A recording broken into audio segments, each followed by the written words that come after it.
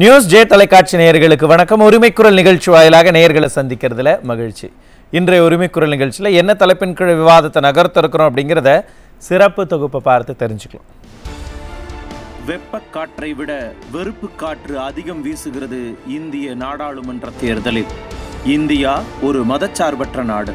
இங்கு அனைத்து மக்களுக்கும் சட்டத்திட்டங்களுக்குட்பட்டு தங்கள் விருப்பம் போல வாழ எல்லா உரிமைகளையும் உறுதி செய்கிறது இந்திய அரசியலமைப்பு சட்டம். ஆனால் ஒரு குறிப்பிட்ட மதத்தினரை குறிப்பாக சிறுபான்மை மக்களை குறிவைத்து பேசுவது அவர்களின் மனம் புண்படி தொடர்ந்து பேசிக்கொண்டே இருப்பது நியாயமா? என்ற கேள்வி தற்போது நாடு முழுக்க எழுந்திருக்கிறது. ராஜஸ்தானில் தேர்தல் பிரச்சாரத்திற்கு சென்ற பிரதமர் மோடி இஸ்லாமிய மக்கள் குறித்து சர்ச்சைக்குரிய வகையில் பேசியிருக்கிறார். வாக்கு வங்கி அரசியலுக்காக அரசியல் கட்சி தலைவர்களும் நாட்டின் உயர் ஆட்சி பதவியில் இருக்கக்கூடிய பாரத பிரதமரும் இது போன்ற சர்ச்சைக்குரிய கருத்துக்களை வெளிப்படுத்துவது இந்திய இறையாண்மைக்கு உகந்ததல்லவே. இஸ்லாமிய மக்கள் மனது புண்படும்படி கருத்துக்களை தெரிவிப்பது எந்த விதத்திலும் ஏற்புடையதல்ல என்பதுதான் ஒட்டுமொத்த மக்களின் எண்ணங்களாகவே இருக்கும். அதிலும் குறிப்பாக அரசியல் கட்சி தலைவர்களும் ஆட்சி அதிகாரத்தின் உயர் பதவிகளில் இருப்பவர்களும் இது போன்ற கருத்துக்களை தவிர்ப்பதுதானே நாட்டின் நலனுக்கும் மத நல்லிணக்கத்திற்கும் நல்லது. அரசியல் கட்சி தலைவர்களின் இது போன்ற சர்ச்சை கருத்துக்கள் சிறுபான்மையின மக்கள் மனதில் அச்சத்தை ஏற்படுத்துவதோடு மத உணர்வுகளை தூண்டும் விதமாக அமைவதையும் மறுக்க முடியாதே. அதனால்தான் தேர்தல் பிரச்சாரத்திற்காக கண்ணியம் தவறிய இது போன்ற மத துவேஷ கருத்துக்களை யார் பேசினாலும் அது இந்திய இறையாண்மைக்கு எதிரானது என்றும் நாட்டின் நலனுக்காக இது முற்றிலுமாக தவிர்க்கப்பட வேண்டும் என்றும் அதிமுக பொதுச் செயலாளரும் தமிழ்நாடு எதிர்க்கட்சி தலைவருமான எடப்பாடி கே பழனிசாமியும் வலியுறுத்தி இருக்கிறார் இதனை வெறும் தேர்தல் பரப்புரை என்று கடந்து போய் விடுவது நியாயமாக இருக்குமா? ஒரு கட்சியை விமர்சிக்க ஆயிரம் காரணங்கள் இருந்தும் இப்படி மத துவேஷ பேச்சுக்களை வெறுப்பு பேச்சுக்களை கட்டவிழ்த்து விடுவது ஏன்? பிரச்சாரத்தில் இது போன்று நடந்து கொள்வதை கண்டிக்க வேண்டியது யார்? மோடி பேசுவது காங்கிரசுக்கு எதிராகவா அல்லது இஸ்லாமியர்களுக்கு எதிராகவா? தேர்தல் நடத்தை விதிகளை மீறி இருக்கிறாரா பிரதமர்? தேர்தல் ஆணையம் நடவடிக்கை எடுக்காமல் வேடிக்கை பார்ப்பது ஏன் என்பன போன்ற பல்வேறு கேள்விகளுக்கு விடை தேடுகிறது இன்றைய நியூஸ் ஜே உரிமைக்குரல் நிகழ்ச்சி. இன்றைய உரிமைக்குரல் நிகழ்ச்சியில் இஸ்லாமியர்கள் குறித்து சர்ச்சைக்குரிய வகையில் பேசியிருக்கிறார் பிரதமர் மோடி.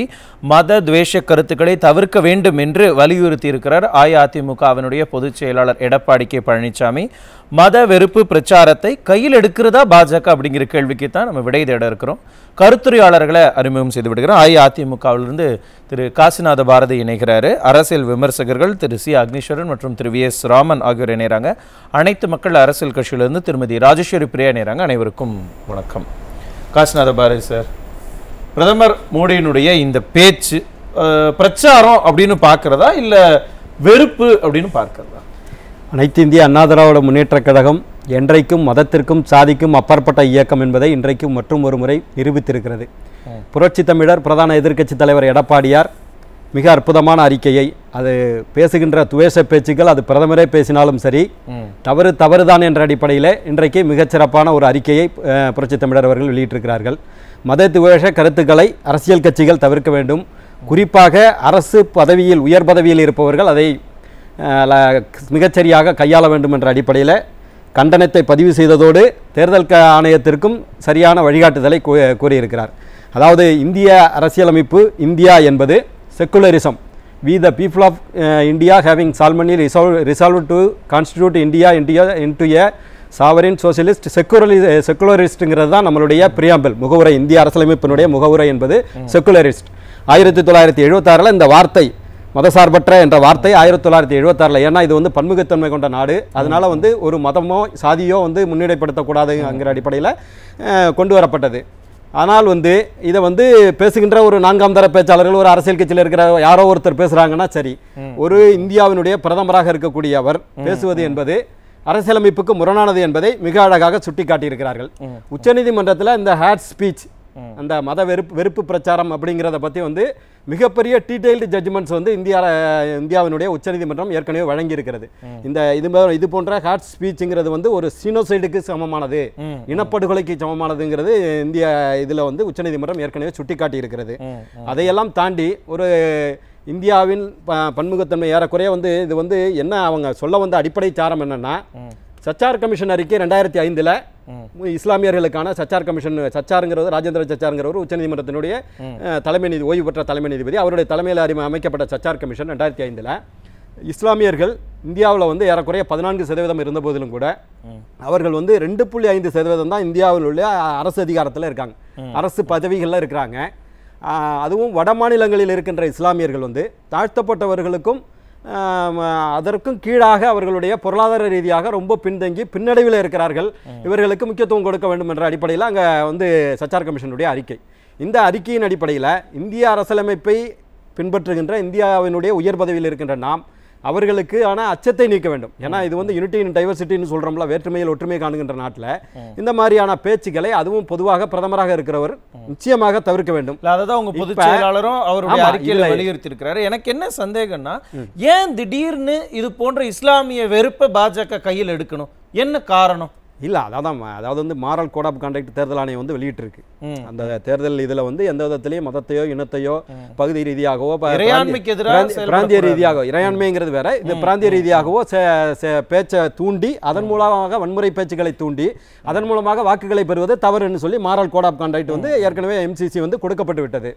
இதுல தேர்தல் ஆணையம் வந்து மிகச்சரியாக நேர்மையான ஆணையமாக இருந்தால் இதுல வந்து நடவடிக்கை எடுக்கணும். இப்போ ஓரிரு வாரங்களுக்கு முன்பு காங்கிரஸில் உள்ள ரந்தீப் சர்ஜிவாலாங்கிற செர்ஜிவாலாங்கிற அகில இந்திய காங்கிரஸ் தலைவர் வந்து ஹேமமாலினி நடிகை ஹேமமாலினியை பத்தி ஒரு தப்பான பேச்சை பேசினார் அப்படிங்கிறதுக்காக இரண்டு நாட்கள் நாற்பத்தெட்டு மணி நேரம் நீங்க பிரச்சாரம் செய்யக்கூடாது என்று இந்திய தேர்தல் ஆணையம் அவரை தடை விதித்தது. அது இந்த இது வந்து ஒரு இண்டிபெண்டன்ட் பாடியா இருந்துச்சுன்னா நிச்சயமாக அது பேசுகின்றவர் பிரதமராக இருந்தால் கூட தவறான பேச்சுக்கள் வரும்போது அது அவருக்கு வந்து ஒரு அட்லீஸ்ட் ஒரு ஷோகாஸ் நோட்டீஸாவது கொடுக்கணும். அவர்கள் இன்றைக்கு வேடிக்கை பார்த்து கொண்டிருக்கிறார்கள்ங்கிற கருத்தை நாங்க பதிவு வைக்க வர- வர்றோம். அடுத்ததாக வந்து நாங்க ஏதோ கூட்டணியில் இருந்தபோது கூட நாங்க பாஜகவை வந்து அஹ், எதிர்க்கல போகலாங்கிற மாதிரி எல்லாம் வந்து ஊடகங்கள் பிரச்சாரம் செய்து கொண்டிருக்கிறது. இந்த இடத்துல வலிமையா நாங்க சொல்ல விரும்புறது இருபத்தி ரெண்டு நாட்கள் அவையை முடக்கி காவிரி பிரச்சனைல காவிரி ஆணையத்தை பெற்று தந்தது புரட்சி தமிழர் எடப்பாடியார். அதே போல ரெண்டாயிரத்தி பத்தொன்பதுல காவிரி ஆணையம் அமையவில்லை என்ற சூழ்நிலையில உச்சநீதிமன்றத்தில் நீதிமன்ற அவமதிப்பு கண்டெம்ட் பெட்டிஷனை போட்டதும் எடப்பாடியார். இன்னும் ஒருபடி மேலே போய் சொல்ல வேண்டும் என்று சொன்னால் ஹெச் புனித யாத்திரை செல்லுகின்றவர்களுக்கான நிதி வந்து அவங்களுக்கான மானியம் நிறுத்தப்பட்ட போது அதற்காக ஏறக்குறைய இருபது கோடி ரூபாயை மாநில அரசினுடைய நிதியிலிருந்து சிறுபான்மையின மக்களுக்காக ஒதுக்கி- கொடுத்தவர் எல்லாத்தையும் நீங்க பண்ணி கொடுத்தீங்க. ஒதுக்கி கொடுத்தவர் என்னன்னா, எடப்பாடியார். ஒரு ஒரு தேர்தல் சமயத்தில் இது போன்ற வெறுப்பு பிரச்சாரங்கள் என்னதான் நீங்கள் வந்து ஒரு பிரதான ஒரு எதிர்க்கட்சியை இல்லை மத்தியில் இருக்கக்கூடிய ஒரு எதிர்க்கட்சியை பாஜக விமர்சிக்கிறாங்கன்னா விமர்சிக்கிறதுக்கு ஆயிரம் காரணங்கள் இருக்குது ஆனால் ஏன் இது போன்ற ஒரு விஷயத்தை எடுத்து கட்சிக்கும் கட்சிக்கும் பிரச்சனைனா அதுலயே மக்களை வந்து அவங்க உள்ள கொண்டுட்டு வரணும். அதுதான் வந்து டியூனிங் பண்றது தான் மக்களுடைய உணர்வுகளை தூண்டி அதன் மூலமாக வாக்குகளை பெறுவது. ஏறக்குறைய இன்னைக்கு அவங்களும் இருபது சதவீதத்திற்கு மேல இருக்கிறாங்க இஸ்லாமியர்கள். அது இருபது சதவீதத்திற்கு மேல இருக்காங்களோ இல்லையோ இது வந்து பல ம- மதங்கள் பல இனங்கள் பல மொழிகள் பல கலாச்சாரங்கள் உள்ள நாடு. இந்த நாட்டுல ஒரு இனத்தை மட்டும் நீங்க முன்னிலைப்படுத்தி பேசுவதுங்கிறதே முதல்ல தவறான ஒண்ணு. நீங்க அப்படி ஒரு வாதத்தை நீங்க எடுக்கிறீர்கள் என்று சொன்னால் சிஏ என்கிற இந்திய குடியுரிமை இது கொண்டு வந்தீங்களா amendment act citizenship amendment act கொண்டு வந்தீங்கல்ல அதுல ஏன் ஈழத்தமிழர்களை நீங்க சேர்க்கல? நீங்க கொண்டு வந்ததற்கான காரணம் என்ன சொன்னீங்க? பங்களாதேஷ்ல இருந்து நாற்பத்தைந்து லட்சத்திற்கும் மேற்பட்ட ரோஹிங்கியா முஸ்லீம்கள் இங்க வந்து இப்போ மேற்கு வங்கத்தில் வந்து குடியேறிட்டாங்க. அவங்க வந்து இன்னைக்கு வாக்கு வங்கியா மம்தா பானர்ஜிக்கு பயன்படுறாங்கங்கிற அடிப்படையில் தான் நீங்க வந்து முத முதலா கொண்டு வந்தீங்க. ஆனா அந்த இதுல இந்துக்கள்னு தானே நீங்க சொல்றீங்க எங்களை தமிழர்களை. ஆனா இந்த த- எங்களை வந்து ஈழத்தமிழர்களை வந்து நீங்க வந்து இதுல சேர்க்கலையே. சிஏவில் வந்து அவங்களுக்கு சிட்டிசன்ஷிப் உண்டுங்கிறத நீங்க கொண்டு வரல. ஏன்னா வந்து ஷிமாவ பண்டாரநாயகா லால் பகதூர் சாஸ்திரி ஒப்பந்தத்தில் ஏறக்குறைய பதினாறு லட்சம் பேர் தமிழகத்திற்கு வந்திருக்கிறார்கள். அவர்கள் இன்றைக்கு வரை பல்லு நான்காவது ஐந்தாவது தலைமுறை கடந்ததுக்கு ஆயிரத்தி தொள்ளாயிரத்தி அறுபத்தஞ்சில் வந்த ஒப்பந்தம். அதற்கும் பிறகும் இன்றைக்கு வரை அவங்களுக்கு குடியுரிமை வழங்கப்படவில்லை. அப்ப நீங்க எங்களை வந்து மாற்றாண்டோட து- மளிகை போல தானே நீங்க நினைச்சிருக்கீங்க எங்களை வந்து நீங்க வந்து இன்னமும் ஒரு குறிப்பிட்ட இடைவெளிக்கு இடையில தான் வைத்திருக்கீங்கிறது? தான் இதை வந்து தொடர்ந்து அனைத்து இந்திய அண்ணா திராவிட இந்த இந்த தேர்தல் அறிக்கையில கூட வலியுறுத்தி சொல்லி இருக்கிறார்கள் அவர்களுக்கான குடியுரிமையை பெற்று. தருவதற்கான இது தென் மாநிலங்கள்ல பேசல வட மாநிலங்கள்ல பேசி இருக்கிறாரு பிரதமர் அப்படின்னாலும் கூட இன்னும் முதல் கட்டம் தான் தேர்தல் முடிவடைந்திருக்கு. இனி வரக்கூடிய அடுத்தடுத்த கட்ட தேர்தல்ல இதெல்லாம் எதிரொலிக்கும்னு நம்ம பார்க்கணுமா? நிச்சயமா எதிரொலிக்கும். அடுத்து தென் மாநிலங்களில் பேசுகிற பேச்சுக்கும் வட மாநிலங்களில் பேசுகின்ற பேச்சுக்கும் ரெண்டு ஸ்லைட் டிஃபரன்ஸ் வந்து மோடி அவர்களுடைய பிரச்சாரத்தில் இருக்கு. இதற்கு அடுத்ததாக பார்த்தீங்கன்னா வந்து அகில இந்திய தலைவர் தான் அப்படின்னு எடுத்துக்கிட்டிங்கன்னா இங்கே மாநில தலைவராக இருக்கிற அண்ணாமலை இன்னமும் வந்து ஒரு முதிர்ச்சியற்ற அரசியல்வாதியாக இந்த தேர்தலுக்கு பிறகு இந்த கட்சியை வந்து தூக்கியாங்க. நீ ஒரு நீங்கள் வந்து you are representing one political party நீங்க இன்னொரு பொலிட்டிக்கல் பார்ட்டியை பத்தி ஒரு விமர்சனம்ங்கிறது வந்து ஒரு எல்லைக்கு உட்பட்டு செய்யணும். இந்த கட்சியினுடைய தலைவரை பிடிங்க அங்க கொடுத்துருவேன் இது பிஸ்கட் பாக்கெட்டா? இங்க இருந்து பிடிங்க அந்த அவங்கள்ட்ட கொடுத்துருவேன். அதாவது இதெல்லாம் வந்து அந்த அரசியல் முதிர்ச்சியற்ற தன்மையை. தொடர்ந்து அவர் அவர் வந்து அதற்கு லாயக்கில்லைங்கிறத காட்டிக் கொண்டு இருக்கிறது இருபதாயிரம் புத்தகங்களை படிச்சாங்கிறது. ஒரு மனிதன் நூறு ஆண்டுகள் வாழ்ந்தால் என்றாலே முப்பத்தாறாயிரத்தி ஐநூறு நாள் தான் உயிரோட இருக்க முடியும். அவன் எப்படி இருபதாயிரம் புத்தகத்தை படிக்க முடியும்? இம்ப்ராபபிள் கண்டிஷன்ல எதையாவது வாய்க்கு வந்ததே அவுத்து விடுவது அதாவது நடைபயணம் நடந்தாரு.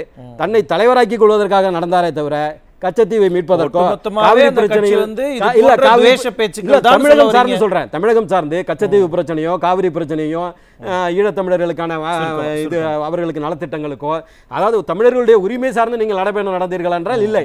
இதை இவர் என்ன மாநில தலைவர் செய்கின்றாரோ அதைத்தான் அகில இந்திய தலைமையை செய்து கொண்டிருக்கின்ற குற்றச்சாட்டை நாங்கள் நன்றி. நான் இன்னும் தொடர்ந்து பேசலாம். அக்னீஸ்வரன் சார் இப்போ என்னன்னா பிரதமர் விமர்சனம் பண்ணார் இல்லையா? அதை அவர் காங்கிரஸை விமர்சனம் பண்ணாருன்னு எடுத்துக்கிறதா?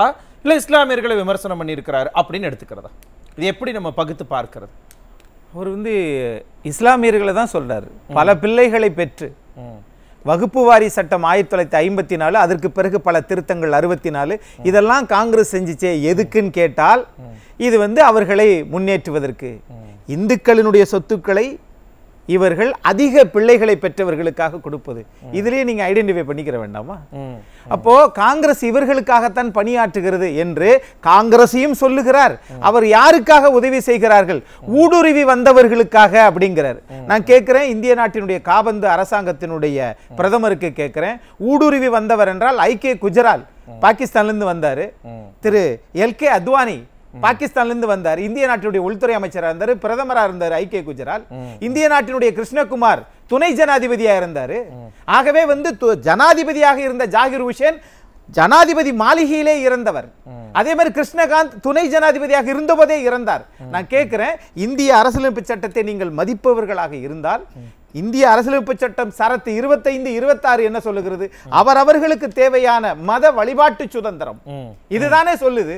அப்படின்னா நீங்க வந்து இந்திரா காந்தி அம்மா இருக்கிற போது அரசு இயந்திரத்தை தவறாக பயன்படுத்தி கொண்டார்கள் என்று ராஜநாராயணன் என்பவர் அலகாபாத்தில் ஒரு நீதிமன்றத்தில் வழக்கு போட்டு உயர் நீதிமன்றத்தில் வழக்கு போட்டு அது சின்கா என்பவர் இந்த நாட்டில் எப்படிப்பட்ட பொன்னான தீர்ப்பை எல்லாம் இந்திய நாட்டினுடைய நீதிபதிகள் கொடுத்திருக்கிறார்கள்? எழுபதுகளிலேயே. அப்ப வந்து சின்ஹா என்பவர் தீர்ப்பு சொன்னார் நீங்கள் ஒரு நொடி கூட இந்திய நாட்டினுடைய பிரதம நாற்காலியில் இருக்கக்கூடாது. அகற்றுங்கள் நீங்கள் வெளியே போங்கன்னு சொன்னாரு. இதே தீர்ப்பை உச்சநீதிமன்றத்தில் அன்றைய மனித புனிதராக இருந்த ஐயா வி ஆர் கிருஷ்ணய்யர் ஆம் அவர் சொல்லுவது சரிதான். தக்க ஆதாரங்கள் இருக்கிறது. ஆகவே நீங்கள் அலகாபாத்தினுடைய உயர்நீதிமன்ற நீதியரசர் சின்கா சொன்னதை நான் அப்படியே ஏற்றுக்கொள்ளுகிறேன் நடைமுறைப்படுத்துங்கள் சொன்னார். இப்படிப்பட்ட நாடு இந்திய நாடு. ஆனால் இன்றைக்கு மதம் எல்லாருக்கும் அவங்கவங்களுக்கு சொந்தம் சார். இந்து மதம் என்பது அருமையான தாத்பரியத்தை கொண்டது.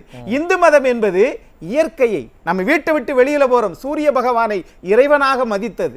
பாம்பை தொழுத மக்கள் இந்துக்கள். ஆனால் இவர்கள் கோ என்றால் அரசன் இல் என்றால் இல்லம். அரசன் தங்கி இருந்த அரண்மனை. அதைதான் கோயில் என்றுதான் நாம் இருந்தோம். மன்னர்கள் அப்படித்தான் மன்னர்கள் கோயில்களை கட்டினாங்க.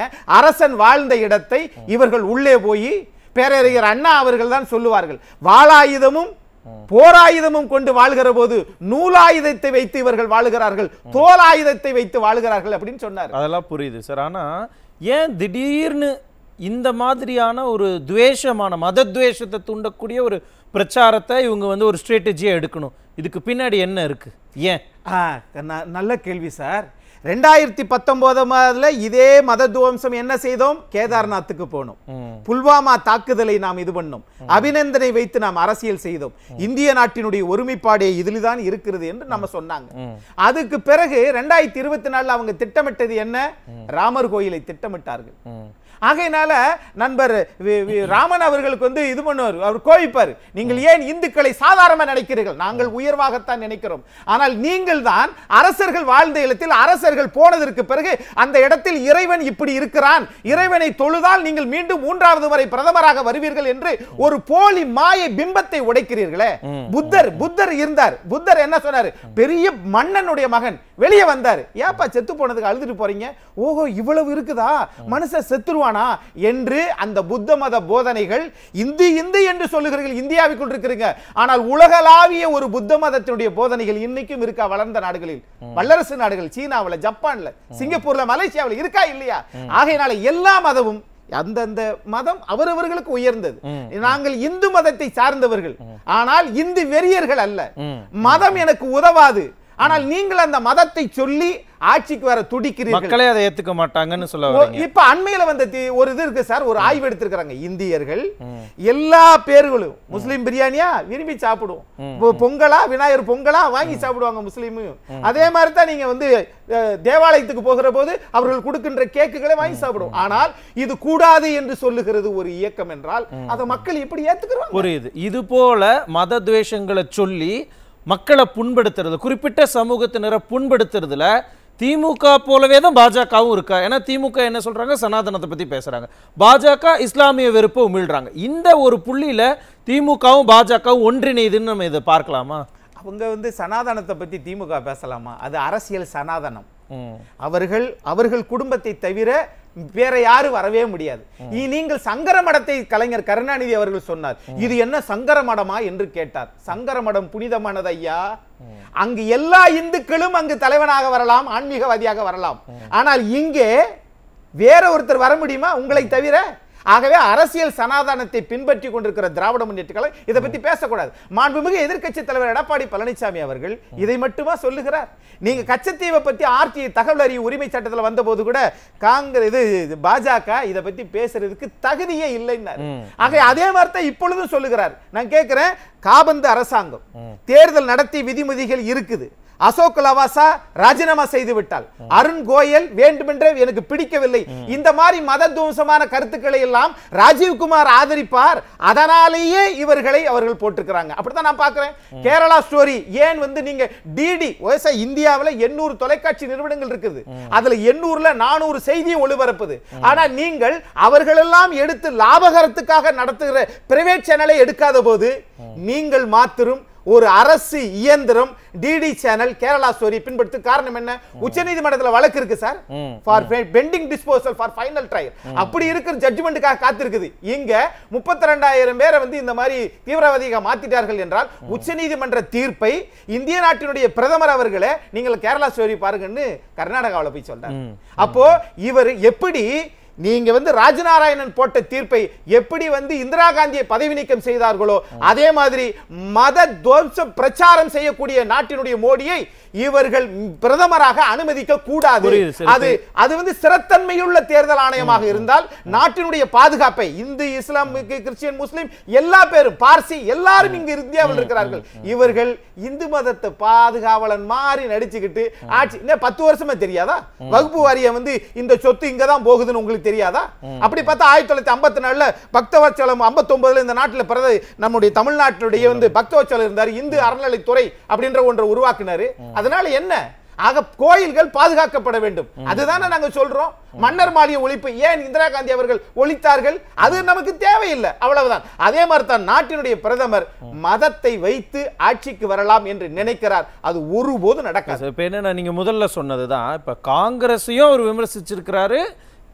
இதையும் இஸ்லாமியர்களையும் விமர்சிச்சிருக்கிறாரு. காங்கிரஸை விமர்சிக்கிறதுக்கு எக்கச்சக்கமான விஷயங்கள் இருக்குது ஏன் காங்கிரஸ் ஆட்சிக்கு வரக்கூடாது? அது வந்ததுன்னா என்ன நீங்க சொன்ன அந்த சனாதனம் மத்தியில் இருக்கக்கூடிய சனாதனம் எப்படி இருக்கு அரசியல் சனாதனம் இந்த மாதிரி நிறைய விஷயங்கள் இருக்கிற இந்த சூழல்ல ஏன் இந்த இஸ்லாமிய வெறுப்பை இவங்க கையில் எடுக்கணும்? இதுக்கு பின்னாடி ஏதாவது அஜெண்டா வச்சிருக்கா பிஜேபி? இல்ல தேர்தல் நேரத்துல தான் சார் உங்களுக்கு வந்து ஒரு ஒரு எரியிற தீயில சாதாரண பேப்பரை போட்டாலே பத்திக்கிட்டு எரியும். பெட்ரோலை ஊத்துனீங்கன்னா? சீமை தண்ணி ஊத்துனீங்கன்னா டீசலை ஊத்துனீங்கன்னா இன்னும் கொஞ்சம் பத்திட்டு எரியும். அதையெல்லாம் இவர்கள் வாக்குகளாக அறுவடை செய்வதற்கு அவர்கள் பயன்படுத்துகிற யுக்தி. ஆகவே நீங்கள் பொலிட்டிக்கல் ஸ்டண்ட்னு சொல்லலாமா? அ- அதுதான். உண்மை அதுதான். இவர்களை பொறுத்தளவில் நாம் மறைந்து நின்று தாக்குவதுதான் இவங்களுக்கு பிடிக்கும். நேர்மையாக நாங்கள் இந்து நாடு. கரெக்ட் ஆனால் இந்து நாடு என்று சொல்லி ஆட்சிக்கு வர வேண்டிய நீங்கள் வளர்ச்சி எங்கே? எல்லாரும் வீழ்ச்சி. மாநில அரசுக்கு செலுத்த வேண்டிய நிதி நாற்பத்தஞ்சு சதவீதம் முப்பத்தஞ்சு சதவீதம் குறைச்சிருக்கீங்க. அப்ப தமிழ்நாட்டு வரியை வச்சு மகாராஷ்டிரா வரியை வச்சு தான் நீங்க உத்தரப்பிரதேசத்துக்கே கொடுக்குறீங்க. ஆனால் உத்தரப்பிரதேசல அறுநூறு காவல் அதிகாரிகளுக்கு முப்பது லட்சம் பேர் தேர்வு எழுதியிருக்கிறாங்க. அப்ப உங்களுக்கு வேலை வாய்ப்பையும் கொடுக்க முடியல பொருளாதாரத்தையும் கொடுக்க முடியல. வட மாநிலங்கள் தமிழ்நாட்டை நோக்கி வருகிறார்கள். இங்கு என்னன்னா எல்லா மதமும் சமம் என்று பின்பற்றுகிற நாடு தமிழ்நாடு. அரசியல் கட்சி தலைவர்கள் அப்படித்தான் இருக்கிறாங்க. அதேதான் இவரு கூட அதான் சொன்னார். எங்க பொதுச் செயலாளர் இதை கண்டிச்சு அவர் அறிக்கையை விட்டுருக்கிறாரு. இறையாண்மைக்கு எதிராக நடக்கக்கூடியதை யார் செஞ்சாலும் அதை நாங்கள் ஒத்துக்க மாட்டோம் அப்படிங்கிறத அவர் வலியுறுத்தியிருக்கிறார் இல்லையா? அப்ப ஒட்டுமொத்தமாக எப்பொழுதுமே தமிழகத்தை பொறுத்த வரைக்கும் அதிமுக சிறுபான்மையின மக்களுக்கு பக்கம்தான் எப்பவுமே நிற்கும் அது பிரதமரே இருந்தாலும் அவங்க எதிர்த்து கண்டனத்தை தெரிவிப்பாங்க அப்படிங்கிறத அவர் இந்த இடத்துல நிரூபிச்சிட்டாரு அப்படின்னு இதில் புரிஞ்சுக்கலாமா? இல்லை ஒரு கட்சி சிறத்தன்மையான கட்சி. அதிமுக உருவாகிற போது எழுபத்தி ரெண்டுல பாஜக கட்சியே இல்ல. ஆகையினால அவர்கள் இரண்டு நாடாளுமன்ற உறுப்பினர்கள் எல் கே அத்வானி அடல் பிஹாரி வாஜ்பாய் அவர்கள் எல்லாம் நல்லவர்கள் ஆனால் அவர்கள் பிரதமராக இருந்தபோது பெட்ரோல் விலை முப்பத்தி ஏழு ரூபா தான் அஞ்சு வருஷமா இருந்துச்சு. ஆனா தலைவன் புண்ணியவாளன் ஆட்சியில நூத்தி ரெண்டு ரூபாய் ஆனா ரெண்டாயிரத்தி பதினாலுல ஆட்சிக்கு வரும்போது அறுபத்தி ஆறு ரூபாய் பெட்ரோல். இன்றைக்கு நூத்தி ரெண்டு ரூபாய். ஆகவே இவர்களை பொறுத்தளவில் இல்லாத மாய பிம்பத்தை உருவாக்கி நாம் இந்து நாடு இந்து நாடு தான் நாங்க இல்லைன்னு ஆனால் இங்கு இஸ்லாமியர்களும் கிறிஸ்தவர்களும் பார்சியனத்தவரும் எல்லா மதத்தவரும் இருக்கிறார்கள். இன்னும் புதுக்கோட்டை பக்கத்துல மெய் மதம் ஒண்ணு இருக்குது. அதுவும் ஒரு மதம் தான் ஆகவே நாங்கள் எல்லா மதத்தையும் நாங்கள் மதிக்கிறோம். மகாவீரர் இருந்த எல்லா மதமும் இருக்குது. இதெல்லாம் வந்து ஐயா இந்திய நாட்டுடைய பிரதமர் படிக்காதனால தெரியலையோ? இந்த மதத்தை பற்றி படிச்சுட்டு இந்துக்கள் மட்டும்தான் என்றால் இதுதான் ஆர்எஸ்எஸ் சித்தாந்தம். இந்திய நாட்டுக்கு எதிரான சித்தாந்தம். கண்டிப்பாக அது தமிழகத்தில் எப்படியெல்லாம் எதிரொலிக்குங்கிறதையும் இன்னும் இன்னும் நம்ம விரிவாக பேசலாம். ராமன் சார் என்ன சார்? எல்லாரையும் நீங்கள் ஒரு அரசியல் கட்சியாக இன்னொரு அரசியல் கட்சியை எல்லா உரிமையும் இருக்குது விமர்சனம் பண்ணுறதுக்கு ஆனால் உங்களுடைய அரசியல் நோக்கத்திற்காக ஒரு குறிப்பிட்ட சமூகத்தை சேர்ந்த ஒரு மக்களை இப்படி வந்து நீங்கள் துன்புறுத்தலாமா? மனதளவில் இப்படியெல்லாம் துன்புறுத்தலாமா? அதாவது அடித்து கொண்டிருக்கக்கூடிய அக்னி வெயில்ல அக்னீஸ்வரன் அவர்கள் வந்து அக்னி சோலையாக தீ பிளம்பாக நியூஸ் டே தொலைக்காட்சியில இவ்வளவு ஆக்ரோஷமா பேசுறாரு. இங்கெல்லாம் நல்லா தான் பேசுறீங்க. ஆனா மேடையில தான் இப்படி போய் அப்படியெல்லாம் ஆக்ரோஷமா. பேசுறாரு. ஆனால் பாரத பிரதமர் வந்து ராஜஸ்தான்ல வந்து அந்த பிரச்சாரத்துல வந்து இஸ்லாமியர்களை அவர் வந்து மத துவம்சம் செய்த மாதிரி பேசிருக்கீங்க என்ன நீங்க சொல்றீங்க? இது குறித்து இன்னைக்கு அதிமுக பொதுச்செயலாளர் அஹ், மதிப்புமிக்க எடப்பாடி பழனிசாமி கண்டித்து அறிக்கை கொடுத்துருக்காங்க. அறிக்கை என்பது ஒரு தேசிய அரசியலில் மாநில அரசியலும் அறிக்கை கொடுப்பது என்பது பெரிய ஏதோ கொடுப்பது அவருடைய நிலைப்பாடு ஒவ்வொரு கட்சியுடைய நிலைப்பாடு. ஆனால் மற்ற தலைவருடைய அறிக்கைகளில் பார்த்தால் எடப்பாடி பழனிசாமி அவர்கள் தன்னுடைய கருத்துக்களை சொல்லியிருக்கின்றார். நீங்க இந்த மாதிரி மத தோஷம் பண்ணது நாட்டினுடைய உயர்ந்த. கேள்விய நீங்க எப்படி இல்லங்க, இல்ல, அவர் சொல்லியிருக்காரு. அது அவருடைய. அறிக்கைக்கு நான் அப்புறம் வரேன். நான் கேட்ட கேள்வி என்னன்னா ஒரு பாரதத்தினுடைய பிரதமர் நம்மளுடைய இந்தியாவை என்னன்னு சொல்லுவோம்? இந்திய துணைக்கண்டம்னு சொல்லுவோம். ஏன்?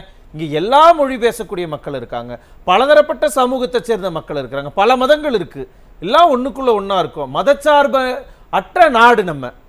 அப்படிப்பட்ட ஒரு நாட்டுல ஒரு குறிப்பிட்ட மதத்தை சேர்ந்தவங்கள நீங்க இப்படி குறிப்பிட்டு பேசலாமா? பாரத பிரதமர் பேசலாமா? சார் பாரத பிரதமர் ராஜஸ்தான்ல வந்து அவர் எதுக்கு அந்த கருத்தை பேசாங்கன்னா காங்கிரஸார்கள் சுதந்திரம் கிடைத்த காலத்திலிருந்து ரெண்டாயிரத்தி பதினாலு வரைக்கும் ஒரு சார்பான மதத்திற்கு முக்கியத்துவம் கொடுத்து அவங்க அரசியல் பண்ணிட்டு இருக்கிறாங்க.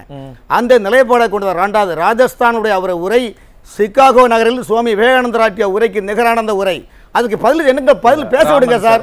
இல்ல சார். இங்க பேச விடுங்க சார். விமர்சனம் பண்ணுங்க. சார் யாருமே ஒரே சார். ராஜஸ்தான்ல ஏன் காப்பாத்த தெரியுமா? நீங்க காங்கிரஸை விமர்சனம் பண்ணும்போது கையை பிடிச்சிட்டு தயவு செஞ்சு காங்கிரஸை விமர்சிக்காதீங்கன்னு யாரும் சொல்லல. ராஜஸ்தானில் அப்படி ஒண்ணும் புனிதமான கட்சி காங்கிரஸ் அல்ல. அதையும் இங்க எல்லாரும் ஒத்துக்குவாங்க. ஆனால் ஆனால் நீங்க அந்த கட்சியை விமர்சனம் பண்ணுங்க. அவங்களுடைய ஆட்சி காலத்தை விமர்சனம் பண்ணுங்க. என்ன வேணா விமர்சனம் பண்ணுங்க. இல்ல அவங்களுடைய வாரிசு அரசியல் பண்ணுங்க. சமூகத்தை சேர்ந்த மக்களை நீங்க எப்படி விமர்சனம் பண்ணலாம்? நல்லா புரிஞ்சுருங்க சார். ராஜஸ்தானுடைய வரலாறு எடுத்து பாருங்க. இருபத்தோரு சமஸ்தானத்தை கொண்ட அந்த வரல அந்த நாட்டில் வந்து மாநிலத்தில் பார்த்தீங்கன்னா அங்கே வந்து மகளிர்கள் எவ்வளோ துன்புறுத்தினாங்க? அங்கே உள்ள ராஜஸ்தானிய பெண்கள் குர்கா அணிந்து எவ்வளோ கஷ்டப்பட்டாங்க? ராஜஸ்தான்ல மட்டும்தான் அது சார்? வரலாறு சொல்றேன். அவர் ஏன் ராஜஸ்தான்ல மட்டும் அவர் ஏன் சொன்னாரு எங்களையும் பேச ஆற்காடு விடுங்க சார். படையெடுப்பெல்லாம் என்னன்னு தெரியுமா சார்? பிரதமர் ஏன் தெரியுமா? இல்ல சார் பிரதமர் ஏன் அந்த வார்த்தை சொல்றாருன்னா காங்கிரஸ்காரர்கள் கடந்த ஐம்பது ஆண்டுகளாக தமிழ்நாட்டுல வருகிறார் முதல் சுதந்திரத்தினுடைய முதல் புரட்சி சிப்பாய் கலை எங்க வந்துச்சு தமிழ்நாட்டுல இல்லாததா எல்லா பக்கம் இந்தியா முழுக்க இந்தியா முழுக்க படையெடுப்புகளால எல்லாருமே எல்லாத்தையும் அனுபவிச்சு தான் இருக்காங்க எல்லா இங்க ராஜஸ்தான்ல பேசுனது பிரச்சனை இல்ல. பிரதமர் பேசின கண்டென்ட் தான் இங்க பிரதமர் மோடி அவர்கள் ஒருபோதும் இஸ்லாமியர்களை தரக்குறைவாக மதவசம் செய்யவில்லை? அந்த கருத்தில் என்னவென்றால். காங்கிரஸ்காரர்கள் எப்படி என்றால் திருடன் போறான் திருடன் போறான் திருடனை விரட்டுறது. அந்த திருடர் தான் காங்கிரஸ். இந்த கையாளாத ஐம்பது ஆண்டு காலம் நாட்டில் இராணுமையை குழி தோண்டி முடிய காங்கிரஸ் கட்சி நாடு முழுவதும் ஜாதியால் இனத்தால் மொழியால் விஷயத்தை நல்லா புரிஞ்சுக்கோங்க. இங்க யாரும் காங்கிரஸ் வந்து புனிதமான கட்சி அப்படின்னு இங்க யாரும் அதுக்கு சப்போர்ட் பண்ணல. அவங்க மேல ஆயிரத்தி எட்டு விமர்சனங்கள் இருக்கு. நீங்க விமர்சனம் பண்ணுங்க. ஜனநாயகம் அதுதான். யாருமே அங்க வேணாம்னு சொல்லல. ஆனால் நீங்க அந்த கட்சியை விமர்சனம் பண்ணுங்க. ஆட்சி விமர்சனம் ஏன் சார் இஸ்லாமியர்களை நீங்க எடுக்கிறீங்க? இங்க அதுதான் பிரச்சனை. அதை பத்தி நீங்க உள்ள வரவே இல்ல சார் இஸ்லாமியர்களின் மனதை பிரதமர் இஸ்லாமியர்களுக்கு பாதுகாப்பு இந்தியாவில் அனைத்து மதத்திற்கும் பாதுகாப்பு பாஜக தான். நீங்கள் தமிழ்நாட்டில் சார் தொட்டு. ஆண்டாள யார் சார் திட்டுனாங்க? சார், சார் ஒண்ணு இஸ்லாமிய இருந்தா அதை தொட்டு. சார் இஸ்லாமியுடைய க- நிகழ்ச்சிக்கு போயிட்டு இந்து மதத்தை திட்டலாம். அது மதவாதம் கிடையாது இல்லையா? யார் திட்டுனா? தமிழ்நாட்டினுடைய முதலமைச்சர் மு க ஸ்டாலின் முதலமைச்சர் விமர்சனம். பேசுறாருல. தப்புதான். ஆமா. சார், இங்க. பேசுறாரு. அது மதவாதமா? ஒரே மதவாதம் இல்லையா? சொல்லுங்க. நான் ஒரு விஷயம் கிளியர் பண்ணிடுறேன் இங்க ஒரே நிமிஷம் இந்த நிகழ்ச்சியோட நோக்கமே என்னன்னா காங்கிரஸுக்கு சப்போர்ட் பண்ணணும் பிஜேபி அதெல்லாம் இல்ல இங்க பாருங்க காங்கிரஸ் மேல நீங்க ஆயிரத்தெட்டு விமர்சனங்களை வைங்க உங்களுக்கு அதிகாரம் இருக்கு மு க ஸ்டாலின் தப்பா பேசுறாரா சனாதனத்தை பத்தி எதிர்க்கிறாரா நீங்க அதற்கு எதிர்ப்பு சொல்றீங்களா நீங்க விமர்சனம் பண்ணுங்க உங்களுக்கு உரிமை இருக்கு ஆனால் ஒரு குறிப்பிட்ட சமூகத்தை ஏன். கேட்கறேன். அதுக்கு பதில் சொல்ல மாட்டேங்கிறீங்களே தமிழ்நாட்டுல பெரும்பான்மை மக்களுடைய வாழக்கூடிய இந்த நா- தமிழகத்தில் திமுக வந்து கேவலமாக இந்து தோஷம் பண்ணி இதெல்லாம் நீங்க கேட்க மாட்டேங்கிறீங்க பிரதமர் சார். தேர்தல்? என்பது மறுபடியும் மறுபடியும் சார், இந்துக்கள் இஸ்லாமியர்கள் இந்துக்கள். இஸ்லாமியர்கள் தான் சொல்றீங்களே. ஒட்டுமொத்தமாக. மக்கள் தமிழ்நாட்டு மக்கள் இந்திய மக்கள்னு பேசுறது இல்ல தேசிய அரசியலில் இதுல இருந்தே தெரியுதுல நீங்க எவ்வளவு. பிரிவினை பேசுறீங்க தேசிய அரசியலில் மதத்தை பிரிப்பது காங்கிரஸ் ஐம்பது காலம் பிரித்து விட்டார்கள் காசி விஸ்வநாதர் கோல மதவாதி மதவாதம் சொல்லக்கூடிய ராகுல் காந்தி அவர்கள் காசி விஸ்வநாதர் கோவில் அங்க போய் ட்ர- வந்து எப்படி போறாரு? அங்க சாமி இருக்குன்னு சொல்றீங்க. அங்க சாமி இங்க வந்து சாமி இல்லைன்னு சொல்றீங்க. ஆகவே மத சார் இந்தியா முழுவதும் இவர்களுக்கு ஆட்சிக்கு வர வேண்டும். நீங்க அதை விமர்சனம் பண்ண வேண்டியதானே உங்களுக்கு உங்களுக்கு அது மேல ஒரு விமர்சனம் இருந்ததுன்னா அவங்க நடவடிக்கையில விமர்சனம் இருந்ததுன்னா நீங்க அதை பண்ணலாம். அதற்கென்று நீங்க இஸ்லாமியர்கள் வந்து அவங்க- அவங்க அதிகமான குழந்தைகள் பெற்ற அவர்கள்கிட்ட எடுத்து கொடுத்துருவாங்க. இதெல்லாம் என்ன? சரி. ரொம்ப தவறா உங்களுக்கு இதை கேட்கக்கூடிய எவ்வளவு இந்தியாவில் இஸ்லாமிய அரசியல் கட்சிகள் யாருமே இதை பற்றி ஒண்ணுமே சொல்லல சார். அவர்கள் நிம்மதியாக இருக்கிறாங்க. இதை வைத்து அரசியல் செய்ய வேண்டும் என்று காங்கிரஸ் கட்சி கங்கணம் கட்டிக் பாத்தீங்களா? கொண்டிருக்கிறார். இதில் தான் மக்கள் ஏமாறுகிறார்கள். இதில் தான் உடனே வந்துட்டீங்க பாருங்க. அதாவது நியாயமா? விஷவதையை தூவக்கூடிய காங்கிரஸ் கட்சியிடம் மக்கள் ஏமாறுகிறார்கள். ஐம்பது ஆண்டுகள் ஏமாற்றிக் கொண்டார்கள் புரிஞ்சிருச்சு. நாங்கள் தான் இந்தியாவின் பாதுகாப்பு சொல்லுவோம் நிமிஷம் இருங்க. உங்க திட்டம் புரிஞ்சிருச்சு. அப்போ நான் பேசுகிற மாதிரி பேசுவேன். எதிர்ப்பெல்லாம் வரட்டும். அதுக்கப்புறமா இந்த பக்கம் இருக்கிறவங்க அங்கே போய் பேசுவாங்க. சண்டை போடுவாங்க. திரும்பவும் சார். உங்க எண்ணம்? இந்தியாவில் தேசம் சொல்லுங்க முழுவதும். அந்த எண்ணமே? பாஜக? மதத்தால் பிரிக்க வேண்டிய எண்ணம் பாஜகவிற்கு இல்லை. மதத்தாலும் இனத்தாலும் மொழியாலும் பிரித்து அதில் ஓட்டுகளை வாங்கலாம் என்று எதிர்க்கட்சிகள் கங்கணம் கட்டுகின்றன. அந்த எதிர்க்கட்சிகளின் முகத்திரை தான். பிஜேபியினுடைய பிரதமர் மோடி கிளிக். தருகிறார். ராமன் சார் இப்பவும் சொல்றேன். காங்கிரஸுக்கு அந்த திட்டம் இருக்கு இருக்கலாம். இருக்குது. நூற்றுக்கு நூறு ஐம்பது ஆண்டுகள் இப்படிதான் நாட்டை ஏமாத்துறாங்க. சார். காங்கிரஸ் கட்சிக்கு இருக்கலாம்னு கூட நம்ம வச்சுக்கலாம். ஆனா பிஜேபி நீங்க சொல்றீங்கல்ல நாங்க இறையாண்மையை காக்கக்கூடிய கட்சி. நாங்க எல்லா மதத்தினரையும் சமமா நடத்துறோம். சொல்லிக்கிறீங்களா? மாறுதட்டிக்கிறீங்களா எந்த மாறுதலும் கிடையாது. ஆனா ஏன் நீங்க இப்படி பேசுறீங்க? சார் நீங்க கருத்துக்களை திரும்ப திரும்ப ராஜஸ்தானுடைய பிரச்சனை உங்களுக்கு தெரியல சார் நீங்க இங்க ராஜஸ்தான்ல மட்டும் கிடையாது. அதற்கு முன்னாடி என்ன பேசுனாரு? ஆர்டிகல் த்ரீ செவன்டி நீக்கின பிறகு இதே திமுக சேர்ந்த எம்பிக்கள் பார்லிமெண்ட் தப்பு தப்பா கத்து பேசினாங்க அப்ப காஷ்மீர் எம்பி என்ன சொன்னாங்க யோ இங்க நடக்கிற விஷயம் உனக்கு தெரியுமாயா சும்மா வாயம் விட்டு போன்னு சொன்னாங்க அது மாதிரி ராஜஸ்தான் மக்கள் இல்ல நீங்க. ராஜஸ்தானுக்குள்ள போனீங்கன்னா இல்ல உங்க பக்கத்துக்கே நான் வரேன் ராமன் சார். ஒரே நிமிஷம் இதை இருங்க நான் பாருங்களேன். ஒரே நிமிஷம் ராமன் சார் உங்க பக்கத்துக்கே வரேன் நீங்க ராஜஸ்தானுடைய பிரச்சனைகளை பத்தி பேசுங்க. ராஜஸ்தான்ல வந்து நிறைய மக்கள் அவங்களுடைய இனத்துக்கு இட ஒதுக்கீடு வேணும்னு கேட்டு அவ்வளவு போராடிக்கிட்டு இருக்காங்க. அதை நாங்க பண்றோம்னு சொல்லுங்க. இதையெல்லாம் நீங்க பண்ணலாம். மக்கள் உன்னிப்பாக கவனிப்பாங்க. ஆனா அங்க போய் நின்னுட்டு இஸ்லாமியர்களுக்கு அவங்க எதா சொத்தெல்லாம் எடுத்து கொடுத்துருவாங்கன்னா அப்ப ஒரே நிமிஷம் இருங்க சார். இதை பார்த்து கொண்டிருக்கிற இஸ்லாமியர்கள் எடுத்து ஓ ஒருவேளை நம்ம சொத்தெல்லாம் அங்க புடுங்கிக்குவாங்களோன்னு தோணி ஏதாவது பிரச்சனை பண்ணணுங்கிறத தூண்டி வராது கேள்வியை தான் அவங்க முன் வைக்கிறாங்க. வேற ஒண்ணும் இல்ல. இந்தியாவில் சிறுபான்மை மக்களுக்கு எந்த பிரச்சனையும் இல்லை. சிறுபான்மை மக்களை ஓட்டுக்காக பகடக்காக எதிர்க்கட்சிகளை புரிஞ்சிருச்சு. பாஜக இது நாள் வரைக்கும் எந்த. பிரச்சனையும் இல்ல. பிரச்சனை நாங்க கொண்டு வரோம்னு சொல்ல வரீங்களா? ராஜஸ்தான்ல இல்ல ராமன் சார் உள்ளபடியே இல்ல இது இது உண்மையான்னு மட்டும் சொல்லுங்க. இது நாள் வரைக்கும் எந்த பிரச்சனையும் இல்ல. அப்ப ஏன் பிரச்சனை இல்லாம இருக்காங்க? வாங்க பிரச்சனை பண்ணுவோம். தேர்தலுக்காக. தேர்தலுக்காக ஒரு தேசிய தலைவர் மாநிலத்துக்கு மாநிலம் மொழி மொழி கலாச்சாரம்லாம் மாறும். அந்த நிலையில் ராஜஸ்தான்ல கடந்த 700 ஆண்டு காலமாக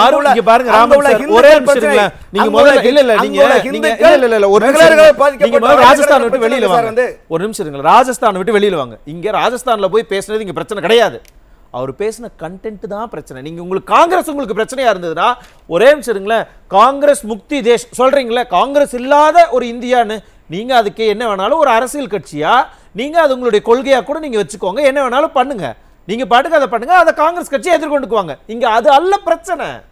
இங்க பிரச்சனையே என்னன்னா காங்கிரஸை எதிர்கொள்ளல இல்ல காங்கிரஸை எதிர்க்க முடியாமையா இல்ல வேற என்ன காரணத்துக்காக மக்களை நீங்க இழுக்கிறீங்கன்னு தான் மக்களை திரும்பவும் சொல்றேன் காங்கிரஸ் காங்கிரஸ் கட்சிக்காரங்க சிறுபாய் மக்களை ஓட்டுக்காக தப்பான நிலைப்பாடுல பயன்படுத்துறாங்க. நீங்கள் பாதை மாறி செல்லாதீர்கள் என்று தான் சொல்லுகிறார் பாதை மாறி செல்லாதீங்கன்னு நீங்க உங்களுடைய வழிக்கு கூட்டிட்டு வர்றீங்க அதுக்கு இதைத்தான் நீங்க சொல்லணுமா? இப்படிதான் பேசணுமா? ஏதாவது ஒரு இடத்துல இல்ல இப்பவும் சொல்றேன் நான் காங்கிரஸ்க்கு சப்போர்ட் பண்ணல. காங்கிரஸ் இன்னும் புனிதமான கட்சி அல்லன்னு அவங்களும் சொல்லுவாங்க. உங்களுக்கு ஆயிரத்தெட்டு விமர்சனம் ஒரு அரசியல் கட்சியாக இருக்கட்டும். அது உங்களுடைய உரிமை ஜனநாயகம். ஆனால் மறுபடியும் மறுபடியும் நான் கேட்கறதுக்கு பதிலே உங்ககிட்ட இருந்து வரவே இல்லை. ஏன் நீங்க மக்களை இழுக்கிறீங்க? சார் அங்க நடக்கிற இதுல வந்து நீங்க தாலி புனிதம் புனிதமான தாலி தங்கம் எல்லாத்தையும் கொண்டுட்டு வரீங்களே இந்த இடம் தான் உள்ளுக்குள்ளேயே இருக்கிற இந்துக்களே இதை விரும்பலையே.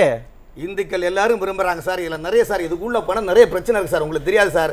இந்த மேட்ருக்குள்ள நீங்க அந்த பாஸ்வேர்டுக்குள்ள போனீங்கன்னா நாட்டில் நீங்கள் ஐநூறு ஆண்டுகளுக்கு முன்னால் இந்தியாவில் பெரும்பான்மை மக்களுடைய வாழ்க்கை எவ்வளவு சீரழிந்தது இதற்காக ஒரு நாட்டை பிரித்து கொடுத்தோம் நாடு இரண்டாக ஆனது? மீண்டும் இந்தியா கூடாது. என்பதுதான் வருமுன். காப்போம் என்பதை பிரதமர் முன்னிலைப்படுத்துகிறார் நாட்டில். அனைவரும் ஒற்றுமை இருக்க வேண்டியதான். சார் பாத்தீங்களா பாயிண்ட்க்கு வந்துட்டீங்க அப்ப நீங்க அதாவது ஒரு ஆ இருக்குது. ரொம்ப அந்த obvious password ஆ வெளியில வைக்கிறீங்களே போட்டு சொல்லுங்க. உடைச்சிட்டீங்க. சார், அதுல ரொம்ப கிடையாது obvious சார். ஆ போட்டு உடைச்சிட்டீங்க. ஒரு நாடு. வந்துச்சு. நீங்க சொல்றீங்க. பிரிவினை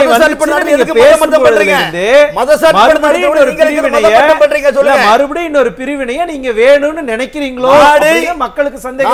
இன்னொரு பிரிவினையை ஆய்வு கூடாது என்பதற்காக தான் ஒரு. எக்ஸாம்பிள் சொல்லுங்க சார். ரீசன்ட் டைம்ல பிரிவினைக்காக நடந்த ஏதாவது ஒரு பிரச்சனையை கடந்த ஒரு இருபது முப்பது ஆண்டுகள் ஒண்ணு சொல்லுங்க சார். இந்தியாவில் பிராந்திய கட்சி நடத்தக்கூடிய பாரத அரசு நடத்தக்கூடிய குடும்பாட்சி நடத்தக்கூடியவர்கள் எல்லாம் இந்தியாவின் இறையாண்மைக்கு எதிராக செயல்படுறாங்க என்ன நான் சொல்லிட்டேன்? உங்களுக்கு நான் வாய்ப்பு தரேன்? உங்களுக்கு நான் வாய்ப்பு? தரேன் நீங்க? சொல்லுங்க பிராந்திய? கட்சின்னு. பிராந்திய கட்சின்னு அதிமுகவை சேர்த்து சொல்றாரு தமிழர்களுடைய உரிமைக்காக. இல்ல இல்ல. தமிழர்களுடைய உரிமைக்காக தொடர்ந்து போராடி. கொண்டிருக்கிற இந்திய அண்ணா திராவிட முன்னேற்ற கழகம் எங்களை. கொச்சைப்படுத்தாதீங்க நாங்க சொல்றோம் சார். ஈழத்தமிழர்களை சேர்க்கலன்னு சொல்றோம். போராடுங்களேன் ஆட்சி, ஈழத்தமிழர்களை சேர்க்கலன்னு. சொல்றோம் போராடுங்களேன். நாங்கள் இந்துக்கள் தானே சபை அப்ப நீங்க எங்களை வந்து அப்பா, பண்றீங்க. எங்களை வந்து மறுக்கிறீங்க பிராந்திய எங்களை கட்சி இந்துக்களாக என்பது நீங்கள் ஏற்றுக்கொள்ள தயாராக இல்லை சொல்லவில்லை நீங்க. பிராந்திய கட்சின்னு தானே சொல்றீங்க நீங்க சொல்லுங்க திமுக இது பண்ணணுமா விமர்சனம் பண்ணுங்க ஆனால் பிராந்திய கட்சி. என்று சொல்லுகின்ற போது தமிழர்களுடைய ஆசா பாடுபடுகின்ற இயக்கத்தை கொச்சப்படுத்தாதீங்க எல்லா பக்கம் இருந்தா வருது நீங்க அவரை விமர்சனம் பண்ணுங்க யாருமே வந்து ஆர் ஆசா புனிதமானவர் அவரை ஏன் நீங்க பேசுனீங்க யாரும் கேட்கலையே அது அல்ல நோக்கம் சரிங்களா? அதை முதல்ல நம்ம புரிஞ்சுக்கணும். சாதாரண நீங்க ஒருத்தங்க மேல இல்ல சார் ஒரு பண்டிகை பாருங்களேன். ஒரு ஒரு குறிப்பிட்ட கட்சி மேல நீங்க பண்டிகை வாழ்த்து போட மாட்டேங்கிறீங்க. சார், அதெல்லாம் நீங்க யார் வாழ்த்து வந்து சார், கர்நாடக பாஜக ஒரு நிமிஷம். கர்நாடக பாஜக மேகதாது அணை எதுக்குதா? அது இருக்குதுல்ல? தமிழ்நாட்டுல நீங்க அரசியல் பண்றீங்களா இல்லையா? நீங்க பிராந்திய. கட்சின்னு பேசுறத முதல்ல நிறுத்துங்க. நீங்க நீங்களும். நீங்களும் இதே ஒரு பிராந்தியத்தை சேர்ந்தவர்கள் தான். உங்க பிள்ளைகளும் உங்களுடைய வாரிசுகளும் இதே. பிராந்தியத்தை சேர்ந்தவங்க தான். நீங்க தவறான வாதத்தை வைக்காதீங்க. அங்க- அங்க வந்து மேகதாதானே ஆதரிக்கிறீங்க. நீங்க அந்த மேகதாதானே ஆதரிக்கிறீங்க. நிலைப்பாடு. உங்க உங்க. நிலைப்பாட சொல்லுங்க. சார் நீங்க சார் திமுகவுக்கு போறீங்க? நீங்க இல்ல இல்ல அவர் அமைதியா. தான் இருந்தாரு. நீங்க தான் நீங்க தான் இப்ப பாத்தீங்களா? இங்கேயே நீங்க இதையெல்லாம் தூண்டி விடுறீங்கன்னா ஒட்டுமொத்த இந்தியாவிலே எவ்வளவு தூண்டல போடுவீங்க? நீங்கள் கற்பனை கடந்த ஒரு நிலைப்பாட சொல்றீங்க. ஒரே நிமிஷம் ராமன் சார். பிராந்திய கட்சிகள் ஒவ்வொன்றும் இதெல்லாம் தூண்டுறாங்க. நீங்க பொத்தாம் பொதுவா நீங்க சொன்னீங்கன்னா கோவம் வரதான் செய்யும். நீங்க கடந்த அதிகமா 30 தமிழ்நாட்டு ஆண்டுகளா நீங்க அதிகமா பாருங்க கட்சி சார். சார் அவங்க. அவங்களுக்கு இந்தியாவில் கோவம் சார். பல பிரிவினை இன்னைக்கு அறிக்கை தூண்டுவது யார்? வந்ததுல அதனுடைய வெளிப்பாடு அதுதான். என்னவாக இருந்தாலும் சரி சார். யாராக இருந்தாலும் அது நாட்டினுடைய பிரதமராக இருந்தாலும் சரி இறையாண்மைக்கு ஏதாவது ஒரு வகையிலாவது குந்தகம் வந்துச்சுன்னா எங்களுடைய குரல் வரும்னா உங்க குரல் கொடுத்திருக்காங்க பாரதிய ஜனதா கட்சி எதிராக செயல்படவில்லை. இந்தியாவில் அனைத்து மக்களும் ஒற்றுமையாக வாழ வேண்டும் தான் பிஜேபி நினைக்கின்றது. ஆனால் ஆனா காங்கிரஸ் உங்க உங்களை சதி வலையில். பின்னுகின்றது. மக்களே நீங்கள் சொல்லுகின்றார்கள். உங்களுக்கும் வித்தியாசமே இல்லையே. உங்களுக்கும் திமுகவுக்கும் வித்தியாசமே இல்லையே. கொச்சையாக பேசுறதுலயும் நீங்க- இல்ல ஒரே நிமிஷம் இருங்களேன். நீங்க சொன்னீங்கல்ல திமுக சனதனத்தை பத்தி பேசுறாங்க திமுக சனதனத்தை பத்தி பேசுறாங்கன்னு. கோவம் வந்ததா இல்லையா உங்களுக்கு? ஆமாம் உங்க கோவம் நியாயம்தான். யாரும் இது இல்லைன்னு சொல்லல. திமுக சனதனத்தை பத்தி பேசுறாங்கன்னா நீங்க இஸ்லாமிய வெறுப்பை விதைக்கிறீங்க. அப்போ உங்க ரெண்டு பேத்துக்கு வித்தியாசமே இல்லையே. நேரடியாக இஸ்லாமியர்கள். சொல்லி பேசுறாரு. காங்கிரஸ். இல்ல இல்ல இல்ல. இஸ்லாமியர்கள் இஸ்லாமிய நேரடியாக சொல்லி பேசுகிறார். இந்தியாவில் இருக்கிற பணக்காரர்களுடைய சொத்துக்களை. பிடுங்கி வங்கிக்கு கொடுத்து விடுவாங்கன்னு பேசுறாரு. நேரடியா. இஸ்லாமிய சமுதாயத்தை நீங்க முதல்ல பாருங்க. ஓட்டு வங்கிக்கு மட்டும்தான் பயன்படுத்தி நீங்க பாருங்களேன். இப்பதான் சொன்னீங்க நாங்க எல்லா மதத்தையும் ஒண்ணா பார்க்கிறோம் அதுல எந்த மருந்தும் ஆனா- இல்லையே. ஆனா இப்ப என்ன சொல்றீங்க? இஸ்லாமிய மக்களுடைய சொத்துக்களை இது பண்றாங்க அவங்க அவங்களுக்கு ஃபேவரா யார் யாருக்கு ஃபேவரட்டிசம் பண்றா? இதுதான் இதுதான் இதுதான் வெறுப்பு பேச்சு. இதுதான் பிரிவினைவாதம். பிரிவினைவாதம் இல்ல. இல்ல சார், நீங்க- எங்க அக்செப்ட் பண்ணிக்கிட்டாலும் இங்க அக்செப்ட் பண்ணிக்க முடியாது. இங்க நான் மீன் பண்ணது தமிழகத்துல. பிரதமர் இந்தியா அவர்கள் முழுக்கவே பிரிவினையை தூண்டி அதற்காக கொடுப்பாங்க சார் யாராக இருந்தாலும் நான் திரும்ப வரேன். ராஜேஸ்வரி பிரியா மேடம். இப்ப என்னன்னா மோடியினுடைய இந்த பேச்சை பொதுமக்கள் எல்லாம் கேட்டிருப்பாங்கல்ல அவங்க முதல்ல என்ன நினைச்சிருப்பாங்க? அரசியல் இதெல்லாத்தையும் அந்த பக்கம் தள்ளி வச்சிடலாம். பொதுமக்கள் கேட்குறாங்கல்ல அவங்க பார்க்குறவங்க இதை பார்த்த உடனே என்ன நினைப்பாங்க? என்னன்னா இப்போ இது இந்த தமிழக தேர்தலுக்கு முன்னதாக இந்த உரையை ஆற்றியிருந்தாருன்னா தமிழகத்துல பாஜக எங்கேயுமே டெபாசிட் கூட வாங்கியிருக்க வாய்ப்பு இருந்திருக்காது. இப்பவும் இருக்கான்னு தெரியல. இருந்தாலும் டெபாசிட் கூட வாங்குறதுக்கு வாய்ப்பு இல்லாம போயிருந்திருக்கும். இந்தியா முழுவதுமே இந்த பேச்சை வந்து வெறுக்கத்தக்க பேச்சாக தான் பார்ப்பாங்க. ஏன்னா இங்க யார் மனதையும் துன்பப்படுத்தி இங்க ஒரு பிரிவினைவாதத்தை தூண்டி அப்படி வந்து வாக்கு வங்கிக்காக பேசணும்னு அவசியம் கிடையாது. ஏன்னா அவர்கள் பத்தாண்டு காலம் ஆட்சியில் இருக்கும்போது நீங்க குறிப்பிட்டது போல எதை வேணுமாலும் பேசலாம் என்ன வேணாலும் பேசலாம். ஆனா இது மதம் சார்ந்து பேசிய ஒரு குறிப்பிட்ட மதத்தினரை பொதுவாகவே தேர்தல் விதிமுறை நடத்தை விதிமுறை விதிமீறல் இந்த சட்டம்லாம் இருக்குல்ல இது எல்லாமே வந்து மீறி இருக்காரு. மதத்தை வச்சு இங்க ஓட்டை சேகரிக்க கூடாது மதமோ இனமோ சாதியோ அதன் அடிப்படையில நீங்க வாக்கு சேகரிக்கவே கூடாது. இதுதானே ரூல்ஸ். அந்த ரூல்ஸையே நீங்க பிரேக் பண்ணிட்டீங்க. அது என்னன்னா ஒரு சாதா சாதாரணமான ஆள் இல்ல. நீங்க முதல் பதவி பிரதமரா இருக்கும்போது எப்படி இப்படி பேச உங்களுக்கு தோணுச்சுன்னா எங்களுக்கு சந்தேகத்தை எழுப்புது. ஏன்னா உங்களுக்கு ப்ரீவியஸா நீங்க நடந்துகிட்ட விதம் எப்படி இருக்குன்னா ஈவன் தோ தமிழ்நாட்டுக்கு வரும்போது கூட கோயம்புத்தூர்ல என்ன பண்றாங்கன்னா போன மாசம் அந்த குண்டுவெடிப்பு நடந்த இடத்துல அந்த அவர்களுக்கு போய் அஞ்சலி செலுத்துறாரு அப்ப அந்த இடத்துலயுமே மத அரசியலை அவங்க முன்னெடுக்கிறாங்க இல்ல அப்பவே மக்கள் கேட்டாங்களே பத்து வருஷமா என்ன பண்ணீங்க இப்ப வரீங்களே அப்படின்லாம் கேள்வி கேட்டாங்க. ஏன்னா அந்த இடத்துல தான் நான் தொடங்குறேன் சார் அண்ணனுக்கு புரியணும்ல அவர் வந்து மத அரசியலையே கொண்டுட்டு வரல எல்லாருக்கும் மாணவர்கள்னு சொல்றாங்கல்ல அப்படி இருக்கும்போது எவ்வளவோ செய்யலாம் ஏன் இதுல தொடங்குறீங்க? அப்ப வாக்கு வங்கி ஒட்டுமொத்தமாக இந்தியாவிலேயே உங்களுக்கு பாஜகவுக்கான வாக்கு குறையுது. அதன் அடிப்படையில கடைசியா நீங்க எடுத்திருக்கக்கூடிய ஆயுதம் நம்மளோட பேசிக் ஆயுதத்தை கையில எடுத்துருவோம். வேற வழியே கிடையாது அப்படிங்கிற மாதிரி தான் இந்த பேச்சுகளை இவங்க தொடங்கி இருக்கிறதா பாக்குறோம். ஏன்னா கடந்த பத்து ஆண்டுகள்ல வந்து இஸ்லாமிய தலைவர்களே சொல்றாங்க. திரு மோடி அவர்கள் இது மாதிரியான பேச்சு பேசல. ஒரு நான்கு ஐந்து முறை தான் பேசி இருக்காருன்னு குறிப்பிடுறாங்க ஆனா இப்ப பேசினதை ஏற்றுக்கொள்ளவே முடியாதுங்கிறதையும் தெள்ள தெளிவாக சட்டத்தின் அடிப்படையிலுமே நடத்தை விதிகள் வந்து மக்கள் பிரதிநிதித்துவ சட்டம் ஆயிரத்தி தொள்ளாயிரத்தி தொண்ணூத்தஞ்சு நூத்தி இருபத்தி மூணு மூணு நூத்தி இருபத்தி மூணு மூணு ஏ நூத்தி இருபத்தஞ்சு இந்த சட்ட விதிகளில் மீறி இருக்காரு. உச்சநீதிமன்ற தீர்ப்பை மீறி இருக்காரு. இது மாதிரி இருக்கும்போது தேர்தல் ஆணையம் அதோட செயலை செய்யல. தேர்தல் ஆணையம் நடவடிக்கை எடுக்கலங்கிறதையும் குறிப்பிடுறாங்க. இதற்கு முன்னால் தேர்தல் ஆணையம் செய்த வரலாறு இருக்கா? இது மாதிரி ஏதாவது ஒண்ணு நடந்திருக்கான நடந்திருக்கு. ஆயிரத்தி தொள்ளாயிரத்தி தொண்ணூத்தி ஒம்போதில் இவர் பால் தாக்கரே அவரை வந்து ஒரு ஒரு வார்த்தை பேசுறாரு. இது சம்பந்தமாவே தான். என்னன்னா இஸ்லாமியர்களின் வாக்கு எனக்கு வேண்டாம்னு பேசிடுறாரு. அதற்காக அப்போது குடியரசுத் தலைவரா இருந்த கே ஆர் நாராயணன் அவர்கள் என்ன கொடுக்குறாருன்னா ஆறு வருடம் வாக்குரிமையே கிடையாது. தேர்தலையும் நிக்க முடியாது வாக்குரிமையும் கிடையாது. இது இதற்கு முன்னதாக நடந்த ஒரு விஷயத்தை நம்ம சொல்றோம். அப்ப இது நடந்து இது மட்டுமல்ல இன்னுமே தேர்தல் வாக்குகளை சேகரிக்கும் போது நீங்க மதம் சார்ந்த படங்களை பயன்படுத்துறீங்க. மதம் சார்ந்த படங்களை பயன்படுத்துறீங்க. ராமர் கோயில் சிம்பலை பயன்படுத்துறீங்க. நீங்க ஒண்ணு ரெண்டு இல்ல. பல இடங்கள்ல இதைத்தான் ஆயுதமா எடுத்திருக்கீங்க. ஏன்னா இன்னைக்கு இஸ்லாமியர்களோட பங்களிப்புங்கிறது சுதந்திர போராட்டத்துல இருந்தே இருக்குங்க நம்ம அவர்கள் மனதை துன்படுத்த முடியாது. காகிதம் இல்லத்தவர்களா இருக்கட்டும் நமக்கு நிறைய தலைவர்களே நிறைய ரஃபி அகமது கித்வாய் மௌலானா அபுல் நிறைய பேர் வந்து சுதந்திர போராட்டத்துல முக்கியமான ரோல். பண்ணியிருக்காங்க அப்படி இருக்கும்போது நீங்க இந்த சமயத்துல இஸ்லாமியர்கள் மனதை துன்பப்படுத்தணும். அவர்கள் ஓட்டு உங்களுக்கு வேண்டாம் அப்படின்னு நீங்க உள்ளுக்குள்ள முடிவெடுத்துட்டு பேசினாலும் இன்னைக்கு அவர்கள் துன்பப்படுத்தினதை உங்களால மீட்டெடுக்க முடியாது. அதுல வந்து இப்ப அறிக்கை அளவுல பார்த்தோம்னா மாண்புமிகு எதிர்க்கட்சி தலைவர் அவர்களுடைய அறிக்கை தெள்ள தெளிவா ஒரு வார்த்தைங்க. என்னன்னா கண்ணியம் குறைவாக அப்படிங்கிற ஒரு வார்த்தை. உண்மையாகவே நான் அது அடிக்கோடிட்டு காண்பிக்க விரும்புறேன். இதுதான் ஒரு தலைவருடைய வாக்கியமா இருக்கணும். அந்த கண்ணியம் குறைந்த வார்த்தையை யார் பேசினாலுமே தவறு. அதுலயும் குறிப்பா இது மாதிரி ஒரு பதவியில இருக்கிறவங்க பேசுறதுங்கிறது மிகவும் ஆபத்தானது. இந்தியாவோட இறையாண்மைக்கு மிகவும் ஆபத்தானது. இன்னைக்கு அமைதியா போயிட்டு இருக்க நாட்டுல நீங்க பேசி ஒரு கலவரத்தையோ ஒரு பிரச்சனையோ உருவாக்கி உயிர் பலியாகக்கூடியவர்கள் யாரு? அப்பாவி பொதுமக்கள் நீங்க ரொம்ப சுலபமா உங்க வாக்கு வங்கி அரசியலுக்காக நீங்க எதை வேண்டுமானாலும் பேசலாம் அப்படின்னு சொல்லி ஏதோ பேசிட்டு போற மாதிரி ஏன் இந்த நிலைக்கு தள்ளப்பட்டிருக்காங்க பாஜகனா? பாஜகவோட நிலை மிக மோசமா இருக்கிறதா தான் நான் கருதுறேன். சொல்லுங்க சார். ஏதோ என்ன மறுக்க- சொல்ல வந்தீங்க? ரொம்ப சொல்லுங்க, நான் பதில் சொல்றேன். அவங்க ராஜேஸ்வரி அம்மா என்ன சொல்றாங்கன்னா இந்தியா முழுவதும் ஏதோ பாஜக தான் கலவரத்தை ஏற்படுத்தணும் சொல்றாங்க. அதாவது மத தோஷம் பண்றாங்கன்னு சொல்றாங்க.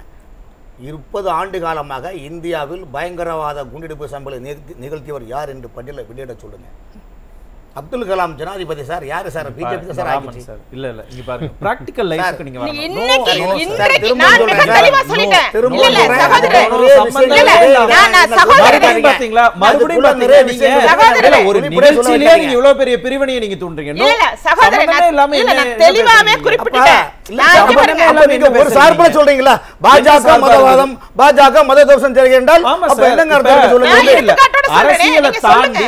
அரசியலை தாண்டி பொதுமக்களுடைய பெர்ஸ்பெக்டிவ்ல இருந்து அவங்க சொல்றாங்க. அதை பார்க்கக்கூடிய சாதாரண இஸ்லாமிய மக்கள். ஈவன் ஒரு ஒரு இந்து மதத்தை சேர்ந்தவருக்கு அது தான் நீங்க போய் படிங்க.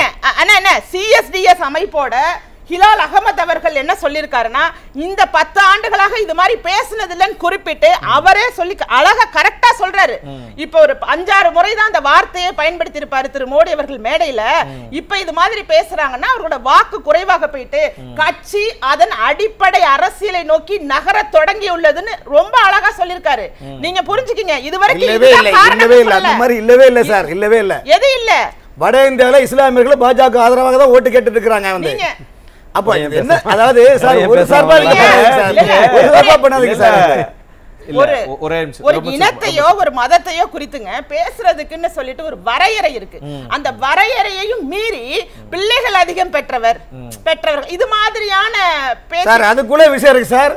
அதுக்குள்ள நிறைய விஷயம் இருக்கு சார் இன்னைக்கு வட இந்தியால பல மாநிலங்களில் இனத்தால் மொழியால் எவ்வளவு பிரச்சனை?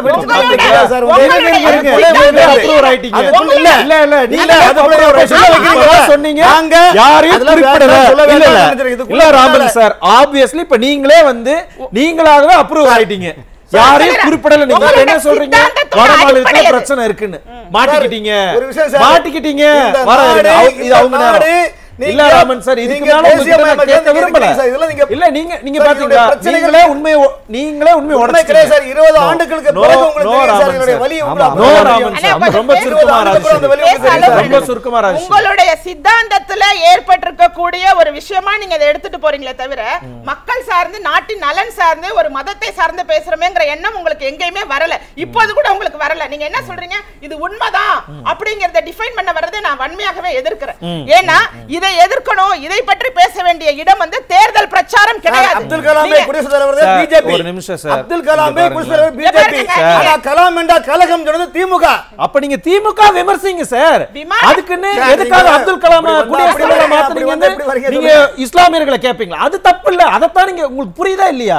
நீங்க திமுக கேக்குறீங்க நீங்க திமுக விமர்சிங்க. யார் வேணும்னு சொன்னது பிஜேபி மீது இஸ்லாமியர்களுக்கோ கிறிஸ்தவர்களுக்கோ எந்த பிரச்சனையும் கிடையாது. நீங்க- எதிர்க்கட்சிகள் ஓட்டு வங்கிக்காக பயன்படுத்துகின்றன வராங்கன்னு கேட்டு நீங்க இங்க பாருங்க ரெண்டு பேருக்கு எந்த வித்தியாசமும் இல்ல. திமுகவுக்கு இஸ்லாமியர்களை பாதுகாக்கிறோம்னு அவர்களை பயமுறுத்துவதும் திமுக ஒண்ணுதான். அதுவும் இவர்கள் வந்து டைரக்டாவே இஸ்லாமியர்களை இந்த இஸ்லாமியர்கள் சிறுபான்மையினரை மையமாக வைத்து ஒரு அரசியலை நகர்த்துறதே மிகவும் மோசமான நிலை.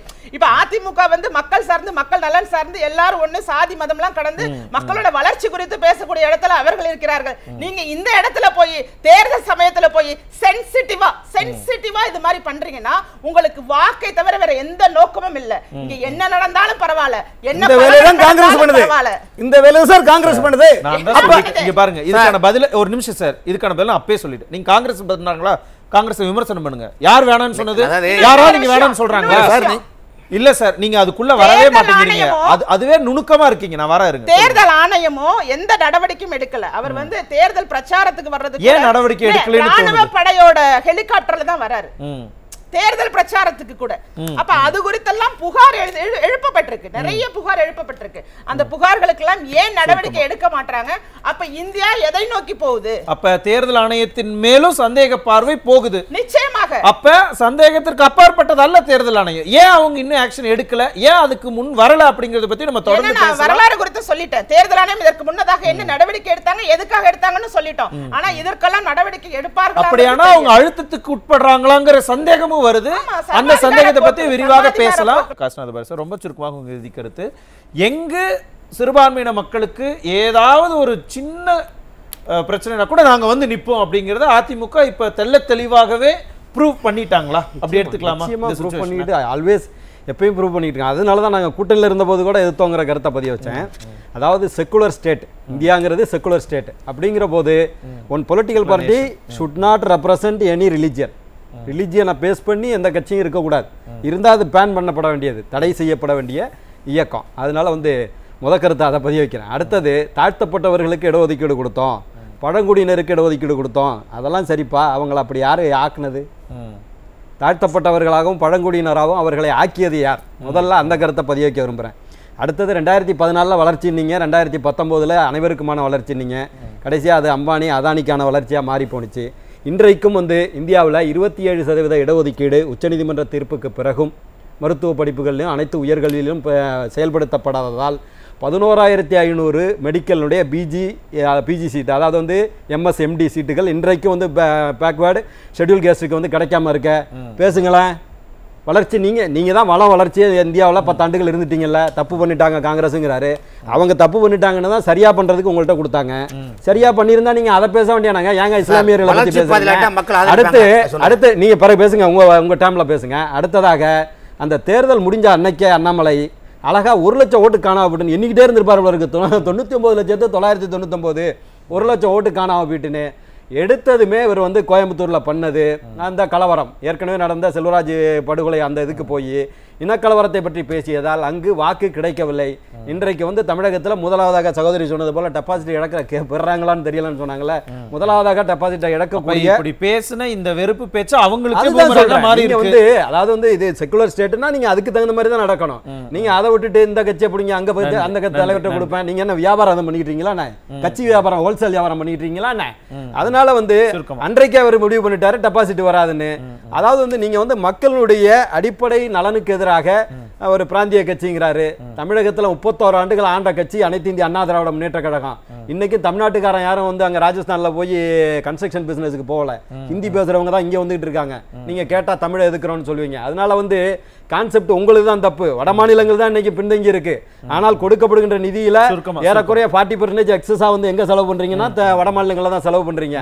அதற்கு பிறகும் அவர்கள் வந்து இங்கே தேடி வருகிறார்கள் என்று சொன்னால் இந்த திராவிட இயக்கங்கள் தமிழகத்துல நிலைத்து நீடித்து இந்த இந்த தமிழ்நாட்டை வந்து வளர்த்திருக்கிறார்கள் என்கிற கருத்தை பதிய வைக்க விரும்புறேன். அமர்தியா சென் அவர்களுடைய வார்த்தைகளில் சொல்வதாக இருந்தால் தமிழ்நாடு தனிநாடாக இருந்திருந்தால் மிகப்பெரிய வல்லரசாக மாறி இருக்குங்கிற கருத்தை பதிய வைக்க விரும்புறேன் நன்றி. அதனால எடப்பாடியார் பிரதான எதிர்க்கட்சி தலைவர் சொன்னது போல மத துவேஷ கருத்துக்களை தவிர்த்து கொள்ளுங்கள்.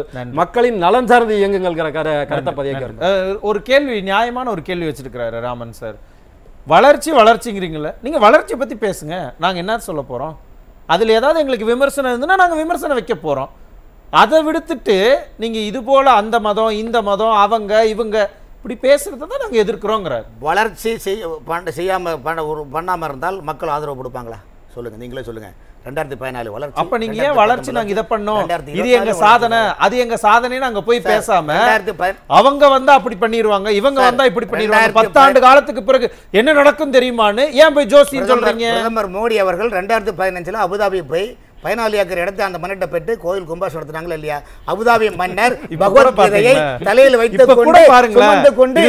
நாட்டின் இறையாண்மை இந்தியாவில் இறையாண்மைனா அது இல்ல சார். பண்றாங்கன்னு பாராட்டுறாங்களா இல்லையா? இல்ல அபுதாபி. மன்னர் நல்லவராக இருக்கிறார் அப்படி என்றால். உலக நாட்டுல இஸ்லாமிய நாடுகள் அபுதாபி மன்னர் நல்லவராக இருக்கிறார். இல்ல ராமன். சார்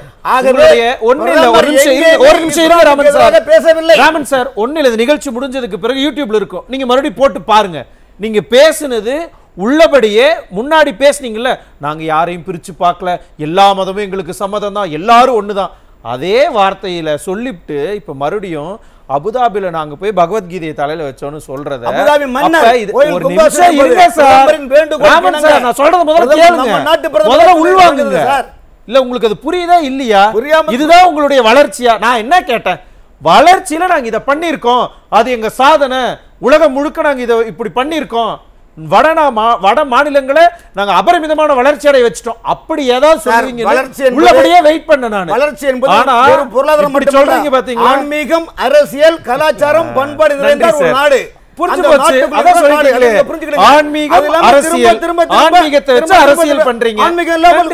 உலக நாடுகளே ஆன்மீகம் இல்லாமல் எந்த நாடும் கிடையாது சார். உங்களுக்கு அரசியல் அதற்கு அரசியல் ஆன்மீகம் இல்லாமல் ஆன்மீகம். வேறுங்க. அரசியலுக்கு என்ன? கலை கலாச்சாரம் ஒரு. பன்முகத்தன்மை கொண்ட நாட்டில் உள்ளபடியே இந்த பதில நீங்க ஃபர்ஸ்ட் ரவுண்ட்லயே சொல்லுவீங்கன்னு எதிர்பார்த்தேன். ஆனா இவ்வளவு நேரம் கழிச்சு இவ்வளவு பேசுனதுக்கு பிறகுதான் இப்படி தப்பு. ஒத்துக்கிட்டு இருக்கீங்க. நன்றி. அத இறையாண்மை- சொல்லிட்டீங்களா? ஆன்மீகம் சார். அரசியல்னு. இறையாண்மை சார் சார். அத சொல்லிட்டீங்களா? ஆன்மீகம் அரசியல்னு. ஆன்மீகத்தை வச்சு அரசியல் பண்றீங்க. உள்ளபடியே அதை நீங்க யாருக்கு பின்னாடி நாங்க நிக்கிறோம்னு சொல்றீங்களோ அந்த மக்களே ஏத்துக்குவாங்கங்க ஏத்துக்குவாங்களா அப்படிங்கிறத எலெக்ஷன் ரிசல்ட்டில் நம்ம பார்ப்போம். நன்றி. அக்னீஸ்வரன் சார் ரொம்ப சுருக்கமாக உங்க இறுதி கருத்து. பேரறிஞர் அண்ணா அவர்கள் தான் சொல்லுவாங்க என்னன்னா நான் பிள்ளையாரையும் உடைக்க மாட்டேன் பிள்ளையாருக்கு தேங்காவையும் உடைக்க மாட்டேன். அது மாதிரி தான் இங்க அதிமுகவினுடைய பொதுச் செயலாளர் எல்லா மதமும் ஒன்று. அதுவும் தேர்தல் நேரத்துல நடத்தை விதிமுறை தேர்தல் விதிகள் நடைமுறையில் இருக்கிற போது நீங்க இப்படி பேசலாமா என்று கேட்கிறார்கள். பல கட்சிகள் அதை கேட்கவே இல்லை. அது வேற விஷயம். இங்க அவர் சார் சொன்னது அதிமுகவினுடைய செய்தி தொடர்பாளர் திரு. காசிநாத பாரதி அவர்கள் சொல்லுகிற போது அந்த சிஸ்டத்தை வருணாசிரமம் என்ற சிஸ்டத்தை உருவாக்குனதே நீங்க தானே ஐயா. அதை முத ஒத்துக்கோங்க. ஆனால் மெக்காலே என்ற ஒரு மாமனிதன் வந்து இங்க கல்வி அரசாங்கம் கொடுக்கணும் இலவசமா கொடுக்கணும் எல்லாருக்கும் கொடுக்கணும் இந்த மூன்றையும். கொடுத்தார்கள் ஆனால் இவர்கள் இவர்கள் வந்து இவர்கள் வந்து. இவர்கள் அவரோட. இவர்கள் வந்து என்னன்னு கேட்டீங்கன்னா இவங்க தான் படிக்கணும் இவங்க தான் கோயிலுக்கு போகணும் இவங்க தான் வந்து மாடுக்கு வந்து முன்னாடி மாலை போடணும் இந்த வர்ணாசிரம முறையை உருவாக்கிய நீங்கள் மீண்டும் இந்தியாவில் வர்ணாசிரம முறைக்கு இவர்கள் ஆசைப்படுகிறாங்க ஆனா கண்ணியத்துக்குரிய காகிதம் எழுத்துனா எல்லாரும் காகிதம் எழுத அவருடைய பேரு வந்து இஸ்மாயில் சாஹிப். அவரு சங்கனாச்சேரியில தமிழ்நாட்டுல பிறந்தவர் சங்கனாச்சேரியில போய் நின்றாரு. நான் கேட்கிறேன் சட்டமன்றத்துக்கும் நாடாளுமன்றத்திற்கும் மக்களை சந்திக்காமலே சென்ற இருவரும் தலைவர்கள் பசுமன் முத்துராமலிங்க தேவரும் அவருடைய கண்ணியத்துக்குரிய கையிலமித்த நான் அப்படி கேட்கிறேன் நீங்க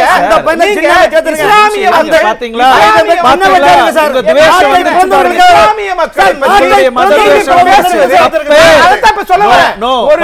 மதத்தை சார்ந்தவர்கள் மக்களை சந்திக்காமலே தேர்தல் வெற்றி பெற்றிருக்கிறார்கள். நீங்க ரோட் ஷோ போறீங்க. அது மாதிரி வந்து பட்டேல் சீர்க்கு வந்து ஆயிரத்தி முந்நூறு கோடியில செலவைக்கிறீங்க இதெல்லாம் ஆக்கப்பூர்வமான வளர்ச்சி கிடையாது. அதனால் இந்த மதத்தை அப்படி கொம்பு சீவி விட்டு இவர்கள் குளிர்காய நினைக்கிறார்கள். ஆனால் அது தமிழ்நாட்டுக்கு வரக்கூடாது என்பது என்னை போன்றவருடைய ஆர்வம். வந்து விட்டது. வந்து விட்டது. அது எங்க.